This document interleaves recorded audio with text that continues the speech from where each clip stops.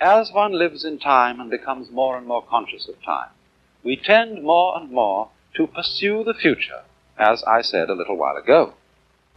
And as we pursue the future, present time becomes more and more unsatisfactory, and we feel that we have to chase our happiness at greater and greater speeds.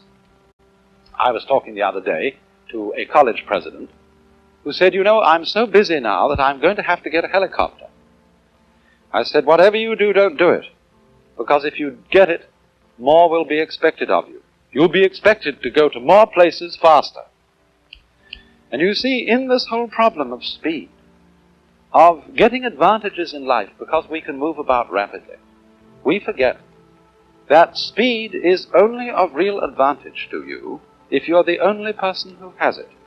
Then you can get ahead of other people.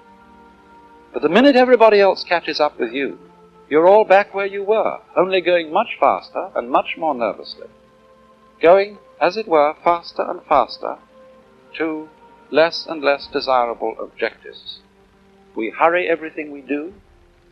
We make our products, our houses, our furniture, our clothes, so that they become obsolete quickly. We're in such a hurry to get everything done. We pay attention to the front rather than the back. Who, for example, in this day and age, has time to do anything like this?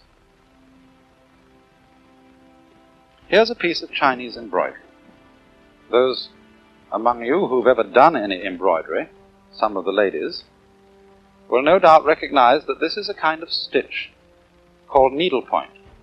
It's done on a material made up of minute little squares of thread, like a grid or lattice thread.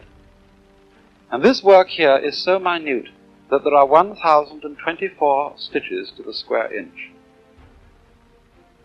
So well done, furthermore, that if you turn it over and look at the back, the back is almost as neat as the front.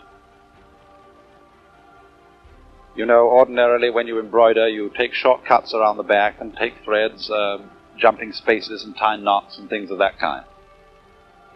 But here, no hurry.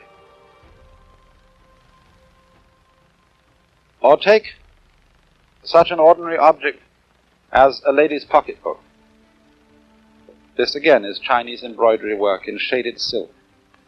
Very patiently done over a padded base underneath so that the figures stand out. And inside it, a little sewing case, which opens up, showing concealed within the place for the scissors, but the most delicate work. But in this day and age, we don't have time for it. Because we are always in a hurry to get things finished. And so the things that we finish weren't worth finishing because they were done so fast. After all, the enjoyment of our world is not really unlike listening to music. We don't play music in order to get somewhere. I mean, if the objective of music were to arrive at a point say, the last bar, the final great crashing chords of the symphony. Well, then all we'd do, we'd be just hurry up its playing, play it as fast as possible so as to get to the culmination, the end, as soon as possible. Or just cut out the whole symphony and play only the last bars. To be able to enjoy it, we have got to live each moment of the playing and listen to it as if it were the only thing important to listen to. And then, if we do that, our time has an entirely different quality. It's represented in a Buddhist saying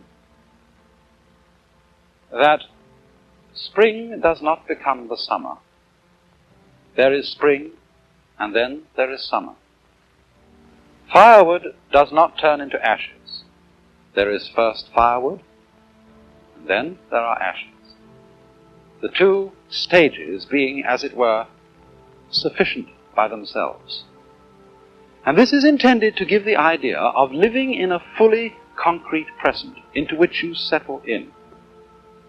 I mean, the present for most of us is, isn't it, just a hairline on a dial.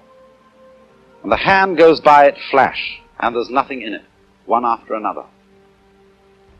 But here there is an entirely different sense of the present, as something you can settle into. There's a line behind me from a Chinese poem. And it says, literally, day, ditto. In other words, day, day, that is good day. Every day is a good day.